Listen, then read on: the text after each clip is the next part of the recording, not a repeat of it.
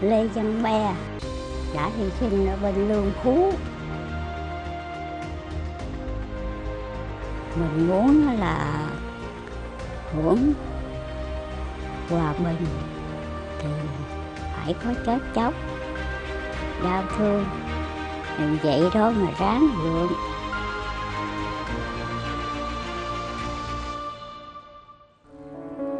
ăn nghe ăn cho khỏe à ở với tụi con nữa, còn chiến đấu với tụi con nữa mà. Còn sống mấy năm nữa lận. Có ao ước ra thăm lăng bác hồ lần nữa không? Cũng ao ước mà đi thì chắc không nổi. Thay vì mình có tiền có của mình sắm cho mình một cái bộ đồ. À, thật là đẹp mình bận ăn ngon mình ăn nhưng mà mẹ không làm được cái chuyện đó. À, cho nên là mẹ quyên góp hết cho địa phương để tiếp tục xây dựng nông thôn mới. Cho đến năm nay thì cái số tiền mẹ góp vô là khoảng 500 triệu đồng. Mẹ yêu nước á từ hồi á là mẹ mới 13, 14 tuổi rồi.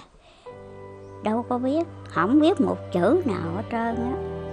Còn là cái số mà mẹ đóng góp ra thì của ông bà để lại. Thì mẹ lo cho ông bà xong rồi. Bây giờ còn lại bao nhiêu?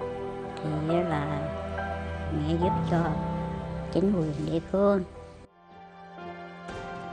Từ chiếc cầu bê tông đầu tiên tại xã Châu Bình được mẹ đóng góp xây dựng vào năm 1988 đến những con đường nông thôn nhờ mẹ hiến đất mà được mở rộng khang trang như hiện nay. Đền thờ liệt sĩ cũng đã được mẹ đóng góp để sửa chữa, nâng cấp, phục vụ công tác đền ơn đáp nghĩa. Nông thôn mới xã Châu Bình đã thực sự thay da đổi thịt nhờ sự chung tay góp sức của những người như mẹ Việt Nam anh hùng Lê Thị Đấu.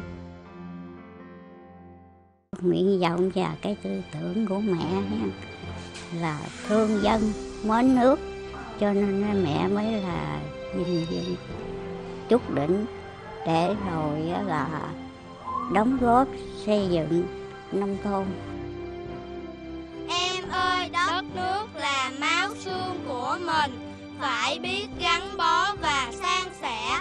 Phải biết hóa thân cho dáng hình xứ sở.